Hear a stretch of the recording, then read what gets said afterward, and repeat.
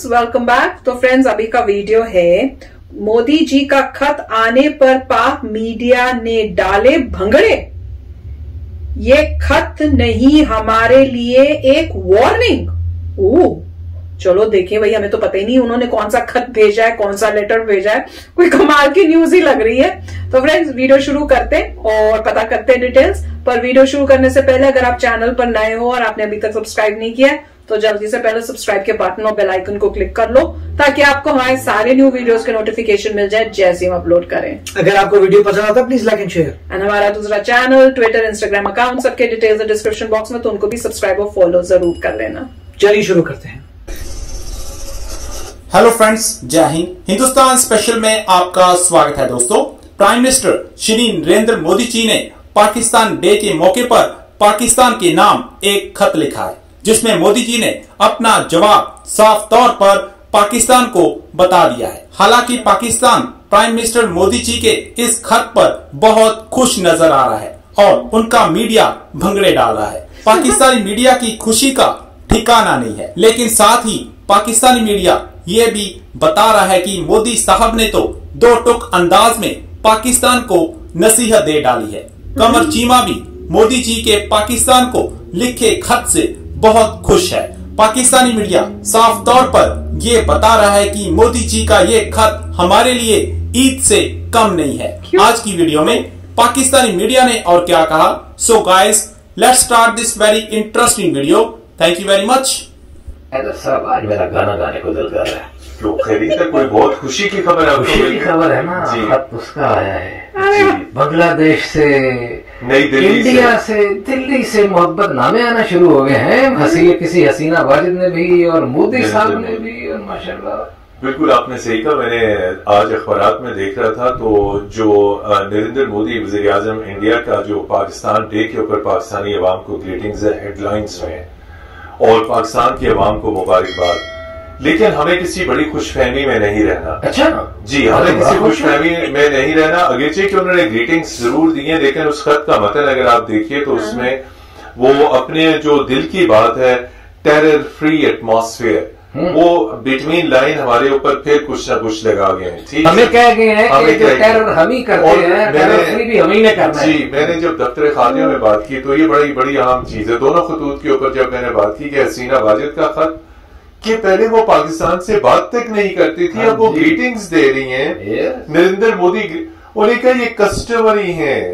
रस्मी खत हैं। हम्म। ये बिल्कुल जिसे कहते हैं ट्रेडिशनल रस्मी खत है लेकिन इसके बावजूद मैं ये कहूँगा कि खत आया है ढाका से और दिल्ली से बहुत बड़ी बड़े लोग पेशरफ खुश थे जी है मैं माहौल बदल रहा है। पीटीआई के बहुत सारे लोगों ने आज मैं आने से पहले बहुत सारे लोगों से बात हुई बड़े खुश थे वो तो माहौल बदल डाल है रहे। थे। कि देखिए पिछले पाँच अगस्त 2019 से अब तक के जो नई दिल्ली के एक्शन से मकबूजा कश्मीर से मुतलिक मुसलसल फायरिंग और गोलाबारी उन्होंने गुजशत दो बरस में डायरेक्ट वो तो ठीक है लेकिन मतीन साहब ये जो पिछले दिनों ये इस्लामाबाद में जो कॉन्फ्रेंस हुई थी ये उसी का मुझे लगता है ये उसी की एक्सटेंशन है ये उसके बाद की सूरत हाल है किसकी? उसमें बड़े अहम मुजाकरात हुए थे वो। इस्लामाबाद सिक्योरिटी डायलॉग में एक कुरीदी खिताब था वज़ीर आज़म इमरान खान का और army chief general Qamar Javed ठीक है। जिसमें उन्होंने वाजे किया कि हम अ, हम अमन की ख्वाहिश लेकर आगे चलना चाहते हैं हम्म।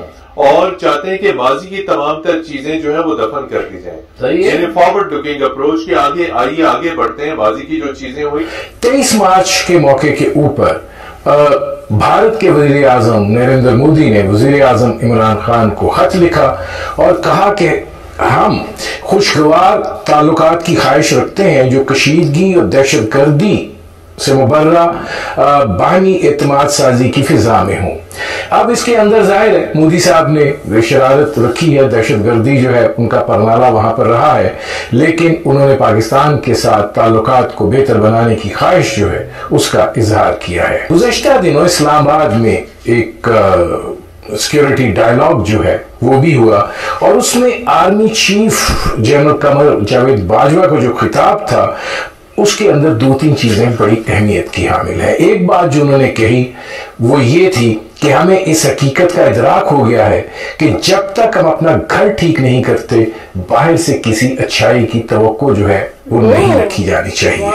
फिर उन्होंने कहा कि हम अपने इलाकाई माहौल को बेहतर बनाना चाहते हैं और हम अपने जो हमसाए हैं उनके साथ जो हल तलब मामला हैं उनको बावकार और एक डिग्निफाइड तरीके और पुरमन तरीके से जो है वो हल करना चाहते हैं। व्यूअर्स बड़ी खबरें मिल रही हैं आज कल तो।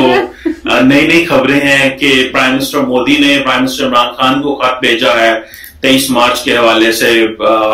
इससे पहले प्राइम मिनिस्टर मोदी जो है वो इमरान खान साहब की तबीयत के बारे में भी पूछ चुके हैं जब इमरान खान को कोविड 19 के वो पेशेंट बने अभी भी उनको है corona but he is good तो इसको पाकिस्तान में बहुत अच्छे से लिया जा रहा है। गो के प्राइम मिनिस्टर इमरान खान ने अभी तक मोदी साहब के ट्वीट का डायरेक्ट जवाब नहीं दिया जो कि मैं पर्सनली समझता हूँ जवाब देना चाहिए था। और उन्होंने जनरली रिस्पॉन्ड किया है। लेकिन प्राइम मिनिस्टर मोदी की तरफ़ से खत आया है और सिर्फ़ वज़ीर आज़म भारत की तरफ़ से खत नहीं आया। भारत के सदर रामनाथ कोविंद साहब की तरफ़ से भी खत आया है और उन्होंने डॉक्टर आर एफ़ अलवी, जो पाकिस्तान के सदर हैं, उनको यह खत भेजा है। और ये जो दोनों खत पहुँचे हैं, जारी बात है, ये दफ्तर खारजा के ज़रिए पाकिस्तान में पहुँचे हैं, जो इंडियन एम्बेसी है, इस्लामाबाद में हाई कमीशन है, उसने ये पहुँचाया और नरेंद्र मोदी साहब ने जो खत भेजा है, उसकी जो टेक्स्ट है, वो बड़ा इंटरेस्टिंग है। कुछ लोग पाकिस्तान में उसके बड़े पॉजिटिवली ले रहे हैं, कुछ लोग जो है वो तनकीद भी कर रहे हैं। और तनकीद करनी बनती नहीं है, उसकी वजह यह है कि उन्होंने ये कहा है कि पाकिस्तान के साथ हम जो है वो एक अच्छा नेबर होने के साथ साथ हम उनके साथ अच्छे ताल्लुक चाहते हैं। और आप जो, आपका जो नेशनल डे है, उसकी मुबारकबाद देते हैं और अच्छे ताल्लुक चाहते हैं। और वो जो इंडिया की लाइन है कि for this an environment of trust devoid of talent and hostility is imperative I think he is absolutely right on this prime minister Modi हमारा भी तो यही मुतालबा है। हम भी तो यही कहते हैं कि ऐसा माहौल नहीं होना चाहिए जिसमें दहशत गर्दी ना हो, जिसमें दोनों ममालिक एक दूसरे के खिलाफ जो है वो कुछ ऐसे इकदाम न करें, दोनों ममालिक अमन के लिए काम करें। और और एग्जैक्टली प्राइम मिनिस्टर मोदी ने जो है वो कहा है कि इस इंसानियत का मुश्किल वक्त है, इंसानियत को मुश्किल वक्त है, और वो जो पाकिस्तान के लोग हैं, उनको जो कोविड नाइन्टीन या इस पेंडेमिक से डील करने के लिए बेस्ट विशेष भेजते हैं। So I think this is wonderful I I personally find it fine लेकिन जो इंपॉर्टेंट चीज़ ये है वो ये है कि एक कॉन्फ्रेंस आ रही है हार्ट ऑफ़ एशिया तीस मार्च को जो कि जारी बात है जिसमें दुशंबे में ये कॉन्फ्रेंस हो रही है जिसमें देर इज़ अ पॉसिबिलिटी कि भारत और पाकिस्तान के गुजराए खारजा मिलने का अमकान है सो हाँ। अगर इतनी बर्फ़ पिघली है तो अगर ये गुजराए खारजा मिल जाते हैं तो ये बहुत बड़ा ब्रेक थ्रू होगा और इस हवाले से जारी बात है बातें तो बहुत की जा सकती हैं, लेकिन जो वे फॉरवर्ड है वो ये है कि पाकिस्तान की तरफ़ से भी यही बात सामने आ रही है। तो फ्रेंड्स न्यूज़ तो कमाल की है। पर ये ज़रूर दिख रहा है कि मोदी जी के लेटर ने धूम मचा दी है पाकिस्तान में। तो कह रहे लोग तो भंगड़ा पा रहे हैं। और वो जो थे, वो तो कह रहे थे, मैं तो मेरा तो नाचने का मन कर रहा है, मैं तो बड़ा खुश हूँ। तो वो कह रहे थे, उसके अंदर एक मैसेज भी है, जिसमें वो यही कह रहे हैं कि हमें अमन चाहिए टेररिज्म नहीं होना चाहिए। तो एक मैसेज भी उसमें सेंड किया हुआ है, जो लोग जो है, उसको देखने, देख, कई देख रहे हैं, कई नहीं देख रहे हैं। अब ये क्लियर नहीं है कि क्या एग्जैक्टली exactly लेटर में लिखा है, पर एक तरफ़ उन्होंने ये भी बोला था कि ये एक नॉर्मल प्रोटोकॉल है कि उनका पाकिस्तान डे है तो जो होते हैं वो प्राइम मिनिस्टर्स दूसरी कंट्री के विश करते हैं। तो वही वो कह रहे हैं कि वही नॉर्मल उन्होंने भेजा है, यहाँ से मोदी जी ने और वहाँ से बांग्लादेश ने भी भेजा है। तो उसमें इतना वो होने की ज़रूरत नहीं है, पर एक तरफ़ से वो कह रहे हैं कि नहीं, इसमें बहुत पॉजिटिविटी है, ये है। चलो, हमें भी यही है कि पॉजिटिविटी होनी चाहिए, प्यार होना चाहिए, आराम से रहें ताकि अपनी अपनी कंट्री को प्रोग्रेस कराएँ। पर मैं हर बार यही कहती हूँ और अभी भी यही कहूँगी कि past has taught us a lesson और हमें उस लेसन से बहुत केयरफुली चलना चाहिए। जब तक 100 परसेंट श्योरिटी नहीं हो। तो मोदी जी बहुत स्मार्ट है, उनको पता है क्या करना है, क्या नहीं करना तो वो he knows it I am sure तो ये तो आगे टाइम जो है वो बताएगा। पर ये देख के कि एक लेटर आने से वहाँ पे जो इस टाइप से हो रहा है दैट वॉज़ अमेजिंग और जिस तरह से बोल रहे हैं कि अब इवन वहाँ पे भी, पाकिस्तान में भी जो ऑफिशियल्स हैं, वो भी अब ये कोशिश कर रहे हैं कि और ऐसे लग रहा है कुछ हद तक एग्री भी कर रहे हैं कि हाँ हमें अपने अंदर घर को पहले क्लीन अप करना पड़ेगा। उसको ठीक करना पड़ेगा, तभी हम कुछ सोच सकते हैं कि बाहर वाले जो है, हमें कैसे देखते हैं हमारे लिए, हमारी तरफ़ उनकी क्या रिलेशन होते हैं। तो वो सुन के मुझे बड़ा अमेजिंग लगा था कि अच्छा वाओ पहले क्या स्टैंड था? पहले तो इंडिया में टेररिज्म है। जी इंडिया में मुझे याद है एक वीडियो किया था जिसमें वो कह रहे थे कि हमें तो मिल गए हैं जगहें जहाँ पे टेररिस्ट कैंप्स बने हुए इंडिया में। तो एक वो स्टैंड से अब ये, मेरे ख्याल से ये सब चेंज आ रहा है क्योंकि पाकिस्तान के भी हालात थोड़े प्रॉब्लम में हैं और उनको दिख रहा है कि इस सबसे बहुत नुकसान उनको इंटरनल भी बहुत प्रॉब्लम्स आ रही हैं। पर अभी तो ज़्यादा नहीं बोलेंगे धीरे धीरे टाइम जैसे जैसे पास होगा और क्लैरिटी मिलेगी। राइट right, तो अच्छा अच्छी बात है कि इंडिया तो चाहता ही था कि अपने नेबर से लड़ाई ना हो क्योंकि ये तो ऑब्वियस बात है कि अगर आपके नेबर्स पीसफुल हैं तो ट्रेड बढ़ता है नेबर से। और अगर आप देखें जाए देखें कि जेनेटिकली इंडिया और पाकिस्तान ज़्यादा सिमिलर हैं compare to India and China right वो तो ऑब्वियस है।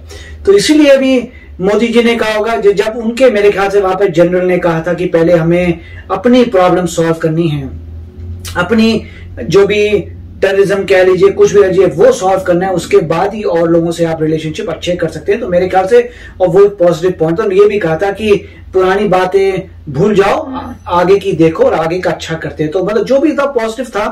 तो ये मुझे लगता नहीं है कि इंडिया ने उसके रिस्पॉन्स में भेजा है। इंडिया ने सिर्फ़ भेजा है कि आपका पाकिस्तान डे है तो आपको कॉन्ग्रेचुलेशन और इंडिया ऑफिशियली हमेशा यही कहेगा कि अगर आप दोस्ती करने के लिए रेडी हैं तो हम भी रेडी हैं, हमें कोई प्रॉब्लम नहीं है। वो तो इंडिया हमेशा ही कहेगा, क्योंकि इंडिया को तो ये जितनी दोस्ती से हो, काम उतना बेटर है। और अगर वहाँ पे पाकिस्तान अपने आप को, अपनी एक्टिविटीज़ को क्लीन कर सकता है, जैसे वो कह रहे हैं कि अपने आप को क्लेंस करिए, अपने आप को बेटर करिए ट्रस्ट बनाए तो अच्छा हो सकता तो अच्छी अच्छी न्यूज़ है। इस पॉइंट पर अच्छी बात है क्योंकि किसी से भी दोस्ती करनी अच्छी बात है। अगर वो जेनुअनली हो सकती है। अगर वाक्य ही वो दोस्ती हो सकती है तो करनी चाहिए। क्योंकि पहले कई बार देखा गया है कि यहाँ पे इस तरीके से डीले होती हैं और पीछे से कहीं ना कहीं कुछ प्रॉब्लम शुरू हो जाती है। मगर उस वक्त यह था कि पॉलिटिकल लीडर्स एग्री करते थे दोस्ती में, मगर जो पाकिस्तान के जनरल्स थे, वो एग्री नहीं करते थे आईएसआई अभी तक तो यही था कि